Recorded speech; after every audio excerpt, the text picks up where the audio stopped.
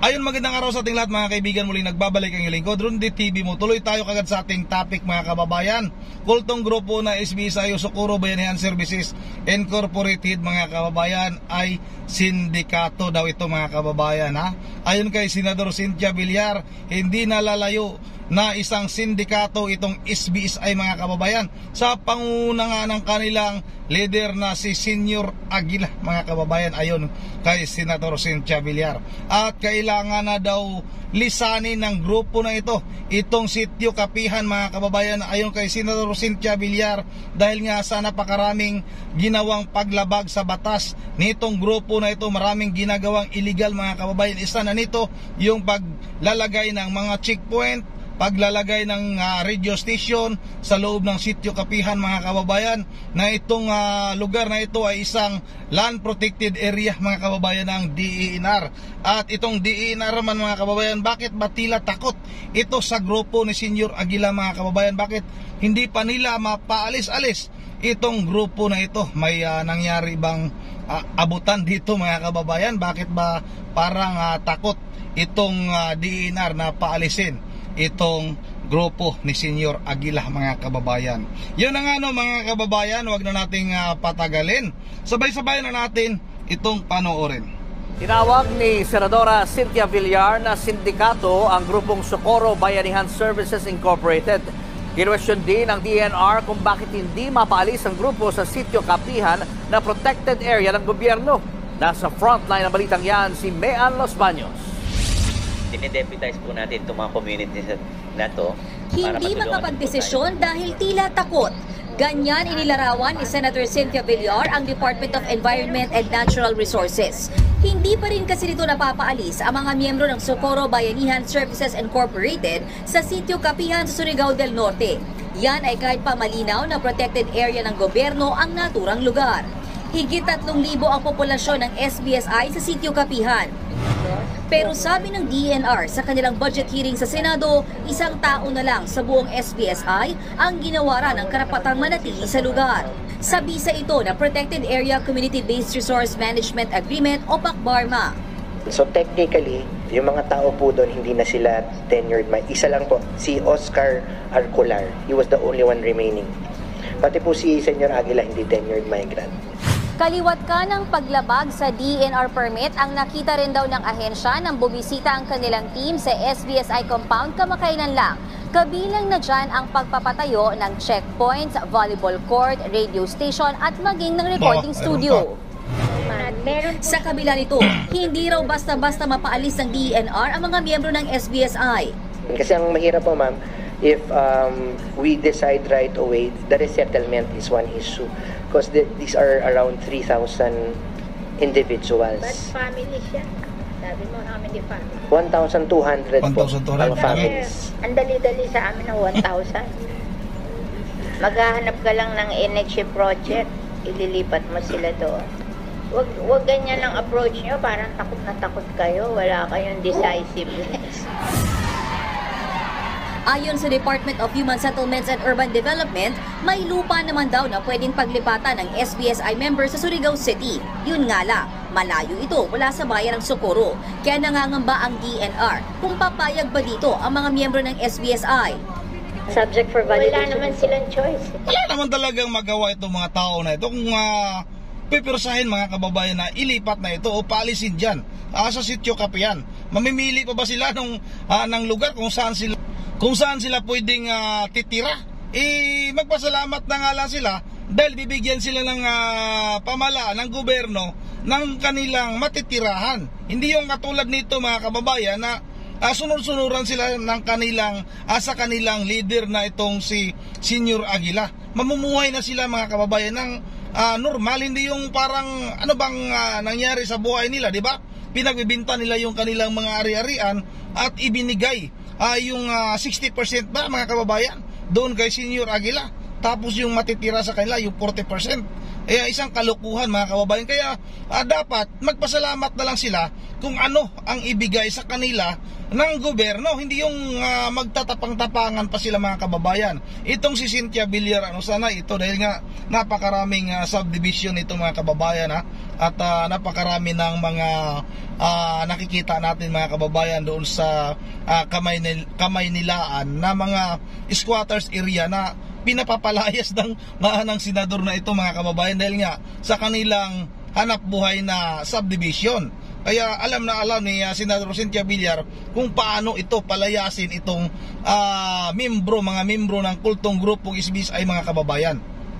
Sin- Huwag mong sasabihin, okay, wala silang choice. Pag binigyan mo sila ng choice, hindi susunod yan. Tama. Eh, Kasi, you cannot, illegal sila dun eh. Tama. Sabi pa ng senadora, dapat alukin na ng pera ang mga taga-SBSI para mahikayat silang umalis sa sityo kapihan. Diba? Hindi yan nalipat, hindi binibigyan ng pera. Oh, oh ako sanay na ako dyan. Sana talaga. Oh, kahit bigyan mo ng bahay yan, pag hindi mo binigyan ng pera, ayaw lumipat. Inakusahan din ni Villar na isang sindikato ang SBSI. Ako, pagtingin ko pa lang dyan, sindikato yan. Tama. Kasi alam mo, yung tunay na nangangailangan ng bahay, bigyan mo ng bahay, tuwan-tuwa. Pero yung syndicate, pera ang gusto, napakalaking pera. Sa huli, inaprubahan ng Senate Finance Subcommittee ang panukalang 24.5 billion pesos na budget para sa DNR attached agencies para sa susunod na taon. Yun na nga mga kababayan, ano, tama talaga si Senador Cynthia Villar. Bira ang katapat nitong mga tao na ito para umalis. Lalong-lalo na itong grupo, ah, yung ah, ah, tawag ito mga kami, yung leader na kanilang grupo. Imukhang pira itong si Senior Aguila mga kababayan. Dahil nga lahat ng kinikita ng ah, kaniyang nasasakupan ay meron siya mga kababayan. Ah, kung maalala niyo mga kababayan yung isang ah, nagpatotoo dyan, yung kanyang asawa ay mangingisda, ah, halos lahat ng kinikita nila mga kababayan na lahat, halos lahat ng kanilang huling isda ay ibinibigay na kinukuha na nitong si Senior Aguila. Ganito kasakim. Itong kanilang group ay ilang ilang kanil- kanilang leader mga kababayan. Na, na, dapat itong ah, leader nitong ah, Socorro ah, Bayanan Services Incorporated mga kababayan ay hindi na ito makawala. Ah, kung ah, sa ngayon nakakulong ito sa Senado, ah, kung halimbawa ah, matapos na yung kaniyang ah, ah, tawag dito mga kababayan ha, yung pagkakulong niya sa Senado ay dapat hindi na ito pakawalan. Idiretso na ito sa isang ah, talagang totoong kulungan doon sa ah, ano ba, dito doon sa may ah, city jail o sa may ah, bilibid mga kababayan dahil napakalaki, napakaraming ah, dapat ikaso nitong ah, leader ng kultong grupo na ito mga kababayan. At kasama na rin yung mga ah, opisyalis nito mga kababayan ha, yung ah, dating ah, mayor ng Socorro at naging ah, defense superintendent kasi nga may parang talagang ah, ginagawa itong kalukuhan ng group ang grupo na ito mga kababayan. Yun na nga ano, hanggang dito na lang muna ano at ah, bago tayo magtatapos ay mag-shoutout tayo. Ay dahil tayo nakapag-shoutout kanina ano dahil nagda-drive tayo at ngayon ay kakarating lang natin dito, huminto lang tayo no. Ah, ha, lumabas ka para makapag-shoutout naman tayo. Yun ano, shoutout kay ah Ah, Wilma Kadusali, siya tata sana bago mag-eleksyon dyan sa Negros, madakip lahat ang ah, ng grupo ni Arnie Teves, lalo na yan si Arnie T. Sana nasa kulungan na yan bago mag-eleksyon. Ito talaga maganda sana itong mahirap, mahirap pa. Mahirap natin makapag mahirap no mag, makapagsabi na ah, mahuli na itong si Arnie Teves dahil hanggang sa ngayon mga kababayan ay parang hirap, hirap yung hirap yung ating ah, gobyerno na ikulong itong si Arnie Teves. Sabi naman ni Danny Agpalo, jailed of all the officers. Ah, sabi naman ni Ma'am Joyce, si Ronnie TV mo, good evening po. Maraming salamat Ma'am Joyce. At sabi naman ni, lumabas ka. Ang tagal lumabas mga kababayan ha. Sabi naman ni Simeon ah, Dilag Diligencia, sana ang mahuli ay si Tibis, hindi yung mga hitman niya. Patagal ng patagal. Kasi ha, lalabas ka. Lumabas ka. Walang internet mga kababayan ha. Ah, susunod tayo. Shoutout kay Armando Cabrera bago makalabas si Sine ah, bago makalabas ah, sa Senate cell.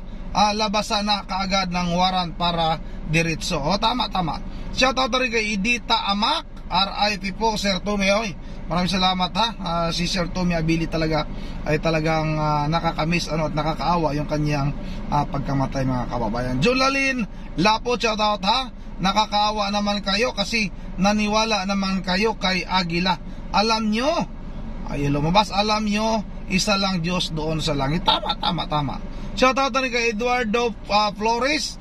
Ah, Wim Relate. Ah, ano, ato? Ah, Be Relate. At shout out kay Eduardo Flores, Be Relate.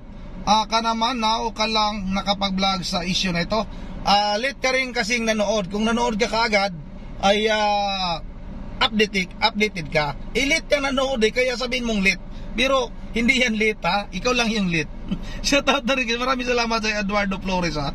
Mr. Silent, ayos na sana, wala nang steel dyan sa Negros pero bakit binalik ni Tambalusos? Ito na nga yung mga kababayan, yung steel bakit binalik sa Negros? Ay nako. Shout out na rin kay Danny Agpalo ha, Senyor Aguila, must be jailed continuously. At shout out na rin kay uh, Marlene Leibato na thanks PNP pero gusto namin taga Negros yung mastermind ang mahuli na si Asa na, lumabas ka? Ayaw lumabas ha, pasensya na. Shoutout na rin kay ah, Ninyo Katubig. Si Tibis dapat mahuli, tawanan lang kayo ni Tibis kahit mapatay pa mga yan. Shoutout na rin, o tama ha.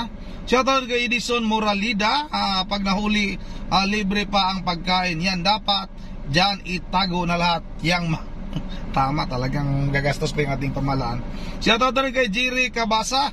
Kulong na yan, pati ah, lahat ng mga anak wilga ay sama na din.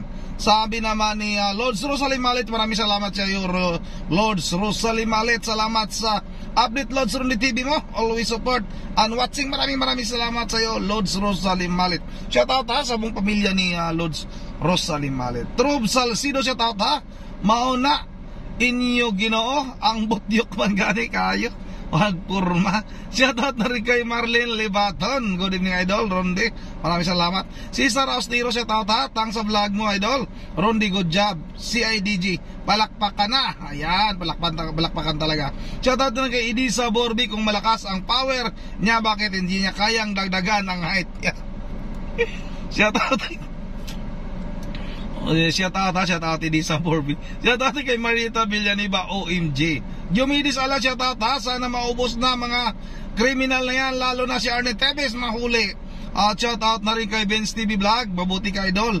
Binisita ni Senador sa Bato, sana po ma-close na ang lugar para matapos. O tama talaga ta. Kailangan ma-close na ang lugar na yan. Yun na nga mga kababayan. Shout out na kay Scout Ranger Marilyn ah, sana lumaban ang gunggong na na Rolando na yan para magkaalaman na. Tama Scout Ranger no?